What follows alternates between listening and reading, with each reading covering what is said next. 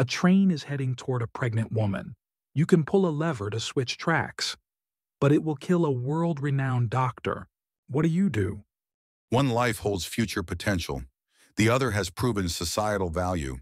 Between unknown possibility and known impact, I choose certainty. I don't pull. Two lives preserved, mother plus child, versus one lost.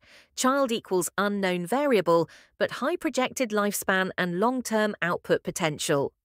Doctor equals diminishing returns. Expected utility favours future facing preservation. I pull. He's a legend.